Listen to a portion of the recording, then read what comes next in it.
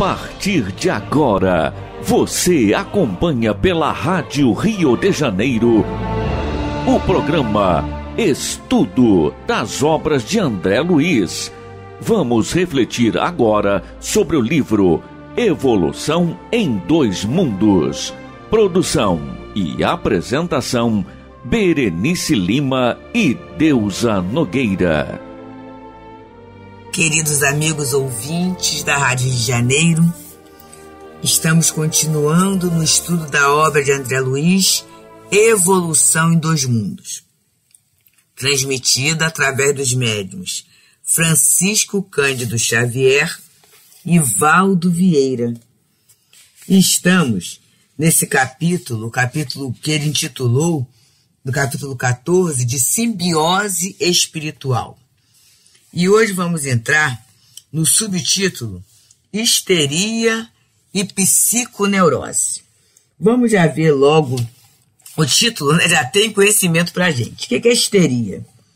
Psiconeurose, que se manifesta através de um conjunto variado de distúrbios psíquicos, sensoriais e motores, considerados como expressão orgânica de conflitos inconscientes. E psiconeurose é um transtorno funcional que se manifesta mediante perturbações orgânicas, respiratórias, digestivas, excretoras genitais e desequilíbrios psíquicos. E eu lembro que há um tempo atrás, é, há, uma, há umas décadas atrás, pelo desconhecimento, se colocava histeria principalmente ligada à mulher, relacionada às questões sexuais, né? E a gente vê como é fácil se falar sem se saber. E hoje a gente está vendo que podem ser situações respiratórias, digestivas, excretoras genitais, né? É, é, e desequilíbrios psíquicos, quer dizer, o psíquico, o psiquismo, causando disfunções dentro daquela, daquela cadeia orgânica, né? daquela parte orgânica. Então, André Luiz vem nos explicando assim. Entretanto, as simbioses dessa espécie, que é o desencarnado para o encarnado. Lembra que ele falou que é quase é igual cogumelo fixando, é, criando raízes na alga para sugar toda a nutrição, todos os nutrientes que ela produz. Então ele fala, entretanto, e aí, desculpa, ele veio falando, né, fazendo essa comparação do cogumelo com a alga, da simbiose das mentes, em que o desencarnado, inadaptado à vida espiritual, ele vem se unir ao encarnado que também está desgostoso, quer dizer, está inadaptado àquele processo da desencarnação do outro vindo muitas vezes a vampirizá-lo, né? E ele faz mais um pouquinho naquelas inteligências, naqueles companheiros que às vezes se deixam fascinar.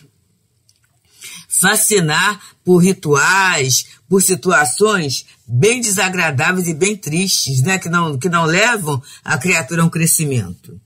E aí ele vem dizendo, entretanto, as simbioses dessa espécie em que tantas existências respiram, em reciprocidade de furto psíquico, não se limitam aos fenômenos desse teor, nos quais espíritos desencarnados, estanques em determinadas concepções religiosas, anestesiam ou infantilizam temporariamente consciências menos aptas ao autocontrole, porquanto se expressam igualmente das moléstias nervosas complexas, como a esteroepilepsia, em que o paciente sofre um espasmo tônico em opistótono, acompanhado de convulsões clônicas de feição múltipla, às vezes sem qualquer perda de consciência, equivalendo a transe metiúnico autêntico,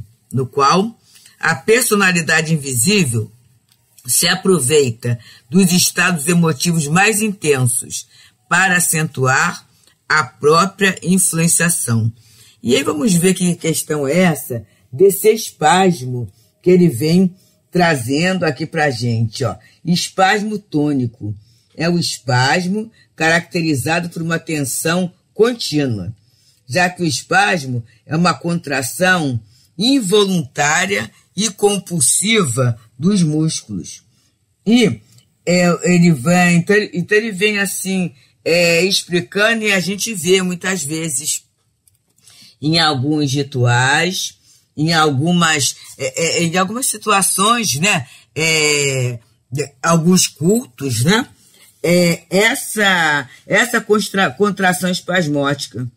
E aqui ele está dizendo aqui, o Pistótono, olha só, é uma contração em que a cabeça e os calcanhares se voltam para trás, enquanto o tronco se dobra para frente, assumindo o corpo uma postura em forma de arco. É tão interessante, meus amigos, que a gente às vezes vê é, é, experiências dentro de, de, de, setores da mediunidade, setores espiritualistas, em que acontece exatamente isso, né? O corpo do médium fica totalmente numa posição, é numa situação que ele fala assim, como é que pode? Eu lembro que certa feita eu vi uma situação em que a criatura rodava, né, com a cabeça toda solta, num pé só, mas durante um tempo muito grande. Outra feita também, nós chegamos a ver uma pessoa que durante quase duas horas, né, ela ficou com o corpo totalmente em arco, totalmente em arco ali. E aí, quando acabou o trânsito, acabou, a, a, a, criatura levantou normalmente. Então, olha, ele colocando é, essa questão da influenciação. E ele fala assim: aproveitando os estados a personalidade invisível se aproveita dos estados emotivos mais intensos para acentuar a própria influenciação. E aí vamos pensar que estado emotivo intenso é esse? Que estado é esse? A gente observa que o inusitado prende a nossa atenção. Então, naquele momento, eu mesmo estou contando aqui de algo que nós presenciamos certa feita. E quando você presencia uma questão dessa, né, ainda mais naquele momento que você não está tão maduro para tomar uma atitude, você fica impressionado, você fica parada, você fica concentrado e você acaba sendo um doador de fluido para aquela questão. Percebemos, amigos, como é que a gente é, é, é, está tudo interligado? E aí o espírito, sabendo disso, a cada momento ele vai se especializando né, numa postura mais bizarra. Porque é, é interessante, aí a gente começa a fazer uma análise. Muitas vezes, em determinados estudos, em determinados momentos, em que são, em que tem uma palestra, ou algo assim de elevação, a criatura sente sono, a criatura assim, ah, eu não tenho paciência, né? Estou torcendo que acabe logo. E aí a pessoa sente sono, ou às vezes ela não tem, não tem nem sono, mas o pensamento voa para outras questões. Por quê? Porque ali está alguém colocado, que está colocado de uma forma simples, com dignidade, falando dentro do idioma conhecido, de uma forma natural, sobre um assunto, sobre uma questão já que o objetivo é o esclarecimento. É o esclarecimento daquele grupo. E isso muitas vezes não agrada a quem está a quem está ali participando naquela hora. Mas quando existem essas situações inusitadas, observamos às vezes até na própria rua mesmo, no, na, na via pública, Enquanto está tudo normal, está todo mundo caminhando. Mas se há alguma coisa, daqui a pouco as pessoas ficam à volta para ver o que, que vai acontecer, esse, essa curiosidade, que na verdade é um episódio de concentração, e toda concentração, a palavra está falando, né? uma junção, uma união fluídica, que chega até ali e fortalece. Então a gente tem que ter muito cuidado, meus amigos. Muito cuidado. Às vezes a pessoa pode ser convidada, e essa questão que eu falo foi até numa própria tarefa é, da divulgação, né, de, dentro de uma casa espiritualista, em que os fenômenos aconteceram. Né? Mas ali naquele momento, a gente estava cercada da prece, tudo, mas mesmo assim, a gente ficou olhando, observando muito. Mas em determinadas situações, se fosse hoje, a, a minha atenção já não seria tão grande. Porque eu sei é, do, do funcionamento, né, do funcionamento fluídico. A minha atenção é, com certeza se voltariam para outros aspectos ali do, da, daquela reunião, daquele grupo, né, daquela prece, tudo isso. Então é, é essa junção, é essa noção de responsabilidade, esse estado de consciência que o estudo da doutrina vai trazendo para nós. E aí quando ele falou que esse estudo é libertador, é libertador mesmo, porque vai nos liberar até da curiosidade, da minha intromissão em questões que não vão me, me enriquecer, que não vão me levar a, a uma, uma posição melhor, não é? E ele continua. E na mesma trilha de ajustamento simbiótico, somos defrontados na Terra, aqui e ali, pela presença de psiconeuróticos da mais extensa classificação, com diagnose extremamente difícil, entregues aos mais obscuros quadros mentais, sem se arrojarem à loucura completa. Então vamos ver o que, que quem são os psiconeuroses. Então ele fala que psiconeurose é um transtorno funcional que se manifesta mediante perturbações orgânicas, respiratórias, digestivas, excretoras, genitais e desequilíbrios psíquicos. Então ele está falando, né? É, é, é, o psiconeurótico, quer dizer, a criatura apresenta esses sintomas. E aí, muitas vezes, é, é diagnose difícil, por quê?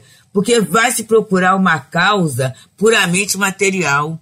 E materialmente o que se tem é um efeito, não um efeito. E essa questão de procurar causa e não encontrá-la, as pessoas vão entrando em quadros mentais obscuros, há situações de isolamentos, há situações de complexos, Há situações é, da, da autoestima e baixando, e muitas vezes levando a pessoa até a desistir do próprio processo de vida, da própria reencarnação. E assim, amigos, estamos nós, pelas ondas fraternas da nossa querida Rádio Rio de Janeiro, no programa Estudo das Obras de André Luiz.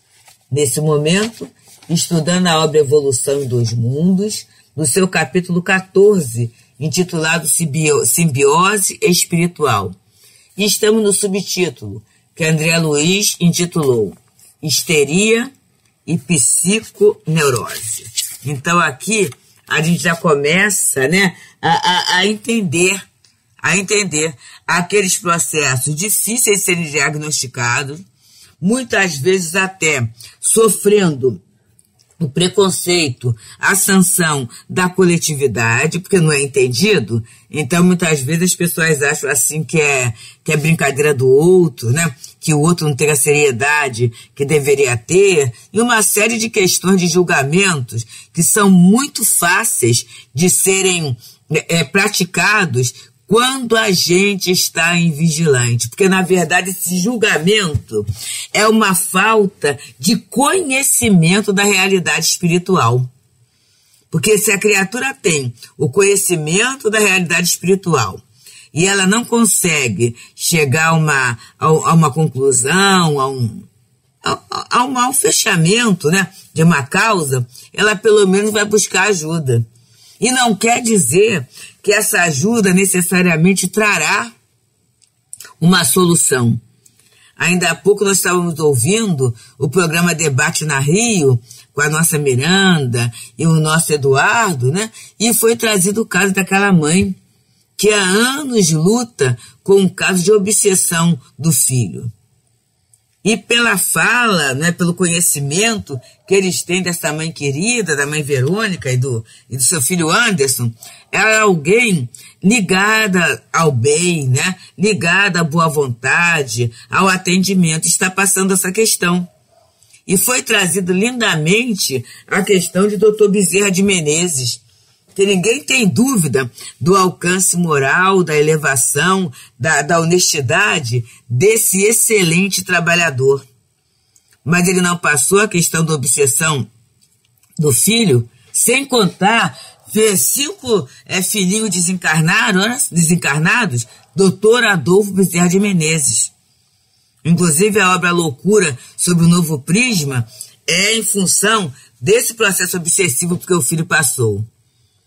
Então vamos lá, né? É, não quer dizer que vai haver a cura necessariamente, mas vai haver a sustentação. A sustentação daquela prova. Inclusive a nossa Miranda falou uma expressão muito boa, né? Que o espírito, para forjar a própria elevação, né? Para afirmar, assegurar a sua própria elevação, a sua etapa evolutiva, ele passará por provas. E essa questão da obsessão é uma prova muito grave. Né? Então a gente é, é, percebe que muitas vezes o companheiro ele vai para determinado ritual, para determinado é, é, quadro espiritualista, procurando uma solução que às vezes até pela falta de conhecimento, às vezes até maliciosamente, as pessoas prometem a cura. Ora, gente, se meu corpo está entortando, entorta pé, entorta a cabeça para trás, né? Nos horários mais é, é, é, inusitados, vamos dizer assim. Isso vai me incomodar, vai atrapalhar minha vida é, é, é, pública. E alguém me fala assim, olha, se você fizer isso, aquilo, aquilo outro, você vai ficar bom? Automaticamente a criatura que não tem uma base, que não tem conhecimento, vivendo aquele extremo desconforto, ela vai se submeter, gente. E aí a gente fica olhando, né? Se submete às vezes até a, a rituais, a procedimentos que torturam mesmo a alma, de extremo sacrifício, de muita dor até, até com de dor, mas para se libertarem daquilo. E aí nessa hora a gente fica pensando o quanto a doutrina espírita, né? o quanto a, a medicina espiritual tem nos, nos sustentado, meus amigos. Porque não fosse isso, essa história poderia ser a de muitos de nós médios, que hoje estamos no, na, no, no conforto né, da mediunidade com Jesus. Ah, mas tem sacrifício? Tem, tem tem, em função da nossa inferioridade, em função das provas que tem que se passar, tudo isso. Mas a gente tem uma diretriz segura. Imaginemos se não tivéssemos, se a gente achasse que era uma doença, era uma coisa esquisita, e nos oferecesse uma situação dessa. Olha como nós estaríamos. E é interessante que nessas questões, é, se você tem que trabalhar, e a criatura vai repetindo Dizer, vai firmando as ligações com esses espíritos cada vez mais, né? Vai criando uma relação de interdependência. E ele vai dizendo aqui, André Luiz continua, tais entidades humanizadas ao painel fisiológico e agregadas a ele seu corpo de matéria mais densa, vivem assim, quase sempre, por tempo longo, entrosadas psiquicamente aos seus hospedadores. Porquanto, o espírito humano desencarnado, erguido a novo estado de consciência, começa a elaborar recursos magnéticos diferenciados, condicentes aos impositivos da sua própria sustentação. Então vamos lá. Aí o espírito começa ele vai usando aquele instrumento. Ele vai, lembra do cogumelo com a alga? Ele vai enraizando os tentáculos. Por isso, gente, que em muitos expedientes de, é, desse uso da mediunidade, a criatura nem trabalha. Ela nem trabalha por quê? Ela não consegue se adequar a uma outra atividade que não seja aquele exercício mediúnico. Sabe por quê? A raiz está tão profunda, o processo está tão enraizado, que sem ele a criatura já não sabe mais viver. É uma constância. E aí a gente vê claramente as questões obsessivas, né? Caracterizadas por aquela ideia fixa. A pessoa não tem cabeça. Então ela está o tempo todo à disposição daquele, ela é hospedeira, né? Daquele companheiro que está ali vampirizando, que a cada momento ele vai elaborando recursos magnéticos mais fortes. Por quê, gente? Porque está havendo o consentimento. Está sendo muito bom para ele. E muitas vezes até, dependendo da natureza daquele espírito, ele vai achar que é bom para ele também. Percebemos? Ele vai achar que está confortável para ele também. Se a pessoa não, às vezes não gosta de trabalhar. E aí a gente começa a ter aquelas questões da mediunidade paga, não é? E aí a pessoa não gosta de trabalhar. E, e aí o espírito começa a prometer: olha, se você me servir, você vai ter isso, aquilo, aquilo outro. Ele vai acenar, conforme a gente falou no, no, no, quando falou da simbiose, né, de mentes, né, da simbiose exploradora, ele vai querer é, acenar com questões da vida material. Se a criatura está ligada a ter esse conforto material, né, e se, observa só, essa simbiose, essa presença, não o desagrada e vai fornecer conforto, ele mesmo vai abrindo campo para que seja aprofundado essa atuação espiritual. E o próprio companheiro espiritual, a cada momento, ele vai elaborando recursos magnéticos cada vez mais diferenciados, cada vez mais profundos. É, e diferenciado por quê? Porque muitas vezes é o mesmo espírito se apresentando sob diferentes configurações. O mesmo espírito. Isso é tão sério que no, quando ele faz simbiose das, da mente, ele diz que, na verdade, esse espírito acaba impedindo que outros espíritos se aproximem. Só que ele, porque tem essa habilidade de tecer recursos diferentes, ele se apresenta com diferentes configurações, diferentes nomes, diferentes formas. É, e, a, e, a, e, o, e o médio, nesse caso, né, o hospedeiro, ele fica cada vez mais enlaçado nessa nesse relacionamento. Então ele vai dizendo, né? É, tanto quanto no corpo terrestre, aprendeu a criar por automatismo as enzimas e os hormônios que lhe asseguravam o equilíbrio biológico. E, impressionando o paciente que explora, muita vez com a melhor intenção, subjuga-lhe o campo mental impondo-lhe ao centro coronário a substância dos próprios pensamentos, que a vítima passa a acolher, qual se fossem seus próprios. Então, aí é aquele processo né, que a criatura vai, ela, ela não percebe que está sendo subjugada, obsidiada. E aí vem de mansinho mesmo, né? De mansinho. Quem está do lado de fora, muitas vezes, é a percepção. Mas a própria criatura, ela, ela, ela assume como dela aquele aquele conjunto de aquele ideário todo, ela assume como sendo dela mesma. E aí André Luiz ele vai encerrando esse capi, esse subtítulo que é Histeria e Psiconeurose, falando assim: assim, em perfeita simbiose, refletem-se mutuamente, estacionários ambos no tempo até que as leis da vida lhes reclamem, pela dificuldade ou pela dor, a alteração imprescindível. Então, muitas vezes, a questão dura muito tempo, muitos anos, porque está havendo uma, uma retroalimentação. Eu sei até de um caso em que o processo era tão intenso, tão intenso, que é, se o, o, o, vamos dizer assim, o cogumelo, né? Dizer, se o, o vampirizador se afastasse, a criatura não teria mais forças para continuar na reencarnação.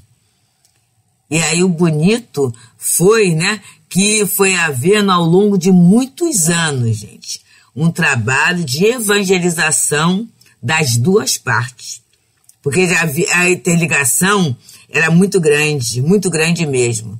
Então, gente, que a gente tenha assim esse cuidado, né, de perceber a doutrina, os nossos pensamentos, nossos sentimentos, nossas atitudes, né, percebendo que não é meu. Se eu não tenho forças para trabalhar, que aquela questão que a gente possa buscar ajuda, humildemente buscar ajuda, pedir ajuda, né? E ajuda para nós e para quem está ao nosso lado. Sempre será útil a gente se ajudar ajudando alguém. Pensemos nisso um pouquinho. Muita paz. A Rádio Rio de Janeiro apresentou programa Estudo das obras de André Luiz.